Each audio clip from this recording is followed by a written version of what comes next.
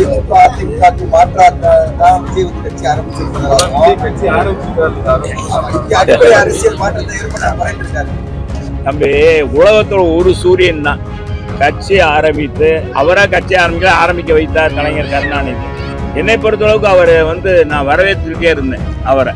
என்ன மாதிரி இது வந்து அவர் ஒரு எல்கையை வச்சுக்கிட்டு தான் அவங்க யாருமே ஒரு கட்சி ஆரம்பிப்பாங்க. இந்த மூன்று ஆண்டுகள் திமுக ஆட்சியில் நடந்த கையாலாகாத நிர்வாகம் மோசமற்ற நிர்வாகம் போதைப்பொருள் நடமாட்டம் விலைவாசி ஏற்றம் பெண் பெண் பெண் போலீஸில் இருந்து மாவட்ட கலெக்டர் வரைக்கும் விஓல இருந்து தாசில்தார் வரைக்கும் எல்லாமே இன்னைக்கு பார்த்தீங்கன்னா மிக மோசமாக இருக்குது எல்லாருக்கும் இந்த அரசியல திமுக வந்து அல்வா கொடுத்துட்டாங்க. கம ஐயோ கமலஹாசன் சொல்ல கமலஹாசன் இப்ப வாய் வாய் வாடகைக்கு விட்டாரு. தன் படம் வந்து வெற்றி பெறணும். தன் படத்துக்கு உதவி பண்ணாங்க. விக்ரம் படத்துல இருந்து ஒரு ஒப்பந்தம் ஆயிடுச்சு போடாத ஒப்பந்தம் போட்டாங்க. திமுகவுக்கு அவங்க. சும்மா எழுத்துல இருந்து என்ன செய்ய? ஏற்கனவே துபாய்க்கு போனாரு. இன்னும் எந்த முதலீடு வந்து எத்தனை ஆயிரம் பேர் வேலை பார்க்குறாங்க தொழிலாளர்கள்? லூலு மகால் வருதுன்னு சொன்னாரு. இன்னைக்கு வருஷம் என்ன ஆச்சு? ஒரு ரெண்டு ஒரு ரெண்டு வருஷத்துக்கு மேலே ஆகி போச்சு. இன்னும் லூலு மகால் வரல எதுவும் வரல.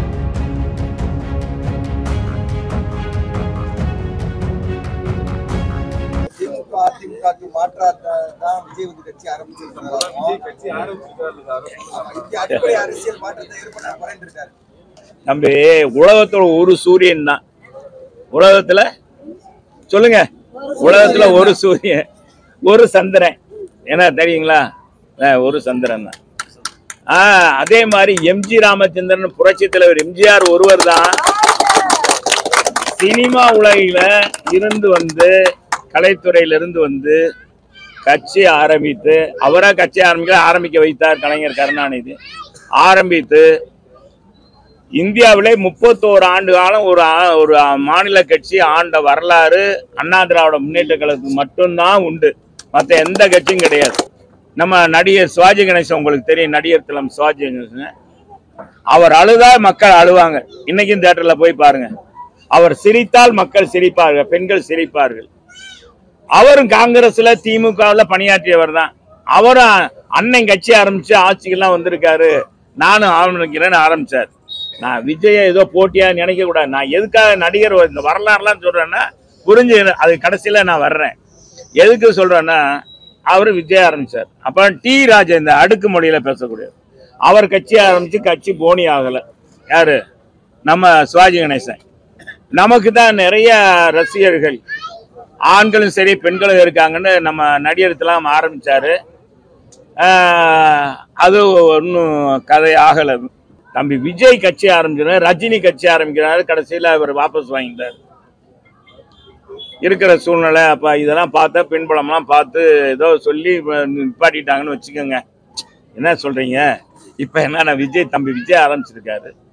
அவர் நோக்கம் வந்து இளைஞர்.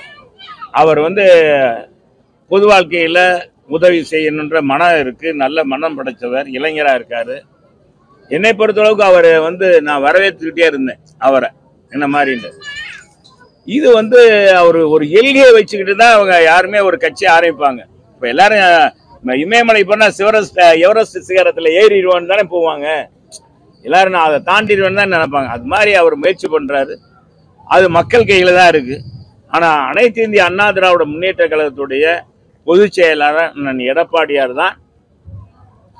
வர இருபத்தி ஆறுல தேர்தல் நடந்தாலும் சட்டமன்றத்துக்கு எப்ப தேர்தல் நடந்தாலும் சரி உறுதியாக முதலமைச்சர் அதுல மாற்று கருத்தே எதுவும் இங்க இருக்கிற மக்களே அது சாட்சி. மக்கள் வரவேற்கிற நம்ம பிள்ளைங்கெல்லாம் மருத்துவ ப- கல்லூரி படிக்கணும். அவங்களுக்கெல்லாம் செலவோட அந்த செலவே இல்லாம டாக்டர் வரணும்னு கையெழுத்து போட்டவர்.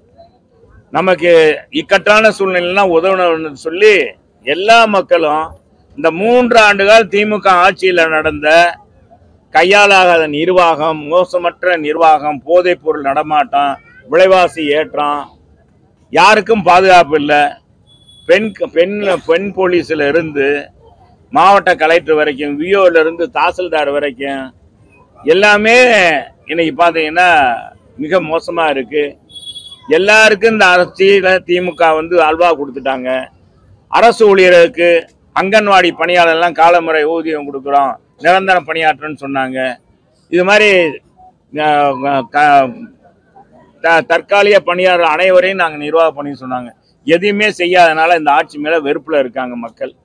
அதனால இந்த ஆட்சியை அப்புறப்படுத்த வர நாடாளுமன்றத்தோடு ஒரு முன்னோடியாக அமையும். கம- ஐயோ, சொல்ல கமலஹாசன் இப்ப வாய் வாய் வாடகைக்கு விட்டாரு.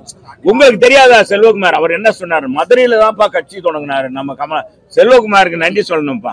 மதுரையில க- நன்றி அவரு உலக நாயகன். அதுல நாங்க மாற்று கருத்தே இது இல்ல. சிவாஜி கணேசனுக்கு கருத்து. பார்த்தா அப்புறமேல் சொல்லுதா நூத்தி ஐம்பது ரூபா நூத்தி ஐம்பது ரூபா அரிசி விக்குதாம்ப்பா. அத இங்க பாருங்க இரு.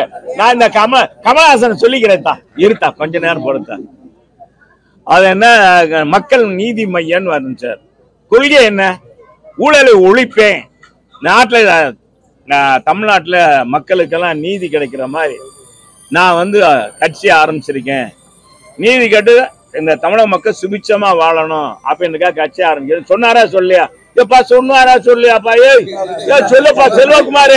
ஏய் சொன்ன இதான் சொல்லி சொல்லுங்க இல்லைங்க. சொன்னீங்க நீங்க எல்லாருக்கும் இந்த ஊடகங்கள்லாம் கேட்டீங்க. சொன்னாரு கேட்டாங்க. ஊடகங்கள்லாம் கேட்டீங்க. அப்ப அவருக்கு சொன்னது வாசம் இன்னைக்கு என்ன ஒரு தொகுதிக்கு தன் வாய வாய வாடகைக்கு விட்டாரு? வாடகைக்கு விட்டாரு நான் உண்மையா இல்லையா? தன் படம் வந்து வெற்றி பெறணும். தன் படத்துக்கு உதவி பண்ணாங்க. விக்ரம் படத்துல இருந்து ஒரு ஒப்பந்தம் ஆயிருச்சு. போடாத ஒப்பந்தம் போட்டாங்க திமுகவுக்கு அவங்களுக்கு. என்ன கொள்கை இருக்கு அவருக்கு? அதனால தம்பி இப்ப கட்சி ஆரம்பிச்சிருக்காரு. தம்பி ஒரு தமிழர் அதுல எங்களுக்கு மாற்று எதுவும் இல்லை. இளைஞர் அதில் மாற்று கருத்து எதுவும் இல்லை. அவர் கொள்கை இனிமேல் வரணும் வந்து கட்சி ஆரம்பித்து நடத்தணும் வைக்கணும். இதெல்லாம் கிளை வரைக்கும் இருக்கணும். வீட்டு போட்டதுக்கு மனம் திறந்து அவருக்கு ஃபோன் பண்ணி செல்லை போட்டு அவர் தொடர்பு கொண்டு ஐயா தம்பி லைட்டு போட்டிருக்கீங்க நல்லா இருக்கு நான் சகோதரர் அப்படின்னு. அனைய ரொம்ப மகிழ்ச்சின்னு சொன்னார். அவரு அவருடைய பெண்தன்மையை அந்த இதில் காமிச்சிருக்காரு. அதெல்லாம் ஒன்றும் இல்லை. இதுக்கு அரசியலுக்கு கம்ம இல்லை. இதை மதுரை மக்களுக்கு செஞ்சதுதான். என்ன அவர் வந்து இப்போ பொது வெளியில பண்ணும்போது அவருக்கான கிரெடிட்டா தான் பாக்குறாங்க. அவருக்கான வாக்கு நான் தான் சொல்லிட்டேன். என்னுடைய விளக்கத்தை சொல்லிட்டேன். அதெல்லாம் எதுவுமே குடிக்கச்சு எங்க எங்க பொதுச் செயலாளருக்கு என்ன தெரியும்? என்னை பத்தி என்னுடைய இதை பத்தி தெரியும். அவர் என்ன செய்வார் என்னன்னு. அதுக்காக ஒருத்தர் நல்லது செஞ்சவனை பார்த்துட்டு சும்மா போகக்கூடாதப்பா அது நம்மளுடைய என்னப்பா? சீனி சக்கர சித்தப்பா எழுத்துல எழுதி நக்கப்பான்னு சொல்ற நம்ம முதலமைச்சர் தான் இந்த வார்த்தையை சொன்னார். சும்மா எழுத்துல இருந்து என்ன செய்ய? ஏற்கனவே துபாய்க்கு போனாரே. இன்னும் எந்த முதலீடு வந்து எத்தனை ஆயிரம் பேர் வேலை பார்க்கறாங்க தொழிலாளர்கள்? லூலு மகால் வருதுன்னு சொன்னாரு. இன்னைக்கு வருஷம் என்ன ஒரு ரெண்டு வருஷத்துக்கு மேல ஆகி போச்சே. இன்னும் லூலு மகால் வரல எதுவும் வரல. எத்தனாயிரம் பேருக்கு வேலை கிடைக்கினாங்க ஒன்றும் வரல. இப்போ அங்கே உலக முதலீட்டார் மாநாட்டு இப்போ தானே நடத்தினார் முதலமைச்சர். தமிழ்நாட்டில் தானே நடத்தினாரு. எல்லா உலகத்துல இருந்து அப்போ ஸ்பெயின் இதுல இருந்து ஜெர்மன்ல இருந்து வரலேன்ட்டாங்களா? நீங்க அங்க வந்தா தான் நாங்க ஒப்பந்தம் போடுவோம்னு சொன்னாங்களா? என்னமோ அது ஒரு நம்ம ஏற்கனவே சொல்லியிருக்காரு. டாக்டர் கலைஞர் ஒரு கலைஞர் கலை உலகத்தில் வந்தவர். நம்ம முதலமைச்சர் கலை உலகத்தில் வந்தவர். நம்ம இப்போ இருக்க உதயநிதி ஸ்டாலின் கலை உலகத்துல வந்தவர். அதனால நடிகர்கள் அதுல என்னமோ ஒரு நாடகம் தான் அது ஒரு அரங்கமா கூட இருக்கலாம். சார் இப்ப திரும்ப விஜய் இருக்கு அப்படின்ற மாதிரி திமுக தரப்புல தான் அதிகமா வந்து எதிர்ப்புகள் இருக்கு விஜய்க்கு. அதை எப்படி சார் பாக்குறீங்க? ஏன்னா இப்ப நீங்க ஒண்ணு நல்லா கரெக்டா நல்ல கேள்வி கேட்டு நல்ல கேள்வி கேட்டிருக்காரு. ஏன்னா திமுக இந்த இளைஞர்கள்லாம் ஏற்கனவே திமுகவில் இருந்தவங்க. நிறைய ரசிகர்கள் விஜய் ரசிகர்கள்லாம் திமுகவில் இருந்தவங்க. அவங்க எல்லாம் இப்ப கட்சி ஆரம்பிச்சோன்னா தனி கலங்கனோன்னு போயிருவாங்களே. இருக்கிறதும் போயிருமே கூடாரம் காலி ஆயிருமேன்னு ஒரு வருத்தத்துல போட்டிருக்காங்க. அவ்வளவுதான். இது போன்ற செய்திகளை மேலும் தெரிந்து கொள்ள எங்களது யூடியூப் ஃபேஸ்புக் மற்றும் ட்விட்டர் ஆப்களை சப்ஸ்கிரைப் செய்யவும்.